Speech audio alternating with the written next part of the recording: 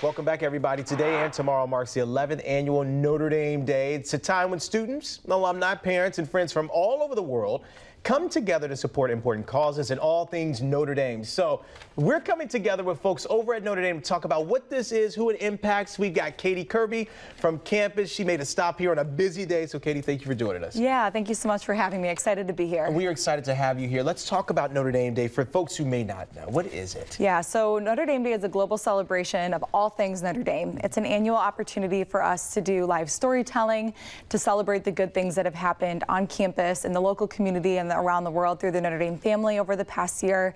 And it's also an opportunity for student groups, for residence halls, for campus departments, for local community causes to fundraise for the things that they care about most on campus. So our team works to secure, um, with the help of generous benefactors, $500,000 in prize money so that students and um, faculty members who are fundraising on this day, their efforts will be furthered um, and it makes it much more incentivizing for them to participate. So Yeah. it's a celebration. It's also a, a good crowdfunding opportunity. You just talked about it really, but I want you to hit on it again. It happens once a year, so the importance of this is truly, really important for you all.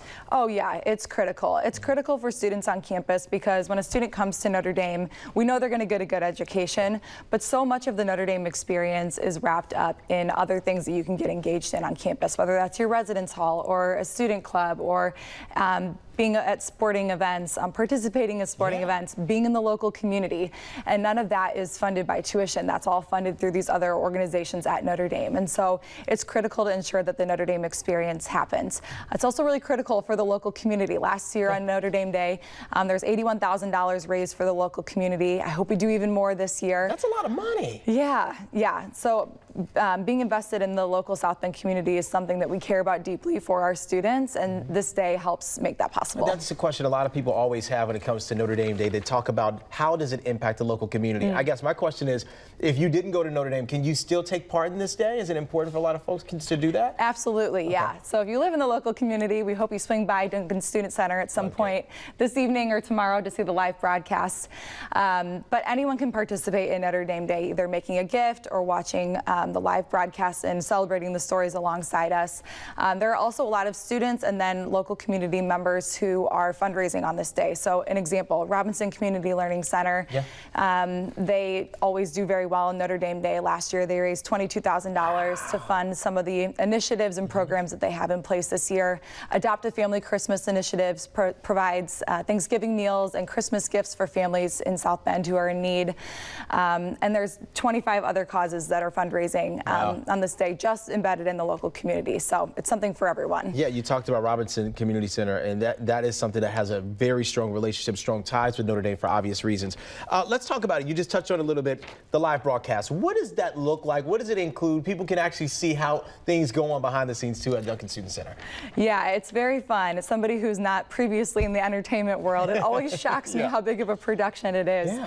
Um, but there will be a broadcast tonight from 6:42 p.m. Um, Eastern Time through midnight. Tomorrow from 10 a.m. to 2 p.m. And then tomorrow night from 6:42 again through midnight. We'll have a slew of um, entertainment and live performances. We'll be talking to a lot of um, Notre Dame celebrities, head coaches, people that are flying in that are um, more well known in the Notre Dame family. We'll be highlighting um, some of the great work that students have done all throughout the year.